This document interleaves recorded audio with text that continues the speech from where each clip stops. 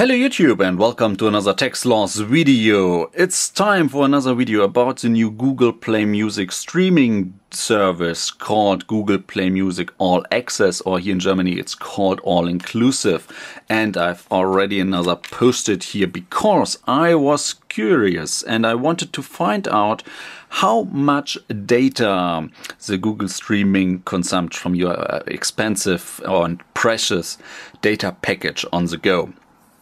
So if you're going into settings, you notice you got, uh, if you're on the go, you got uh, the option to change the quality on Android and on iOS.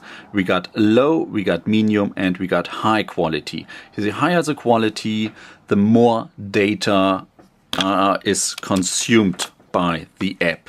So, and I did this twice, and this is posted from the last uh, walk passed through, and uh, it's exactly the same data I got uh, from the first test. So we got a low quality is consumption uh, around 64, 65 megabytes an hour.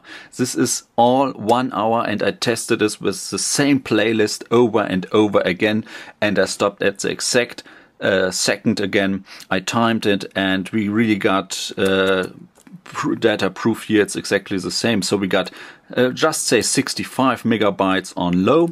On medium we got 85 megabytes. So just 20 megabytes more, so uh, less than 25%. And on high settings, we got around 160 megabytes an hour. So now you're asking, uh, do you hear sound quality differences? Yes, of course you do. At home, you only got the, um, the option to stream it in one quality. I assume it's it will be the highest quality if you're in your own home Wi-Fi. But then I checked it on the go there's definitely, definitely a hearable uh, difference between low and medium settings. Uh, you will notice it if, if you listen not even closely, if you just listen to the music, you will hear the sound difference. If you are on the go with standard or even poor speakers and there are a lot of noises around you, you can go with a low setting. Uh, you won't recognize it's that, that, that, that it's not that good. You won't recognize it because you are distracted. There are other noises around you.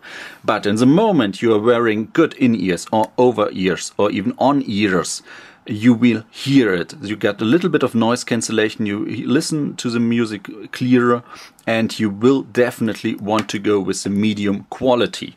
Now, last question. What is about high quality?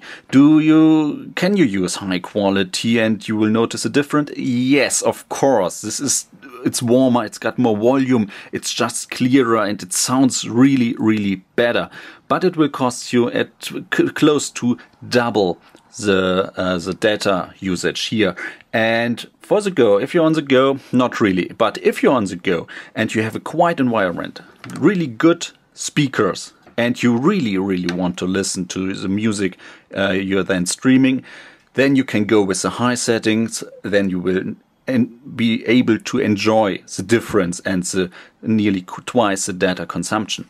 But in my opinion, the best way to go with Google Play Music All Access streaming is the medium setting. This is definitely the best, uh, the best thing out of data consumption and sound quality. So uh, um, this is it. I just wanted to tell you about my experiment. Thank you guys for watching and I see you in the next video. Bye!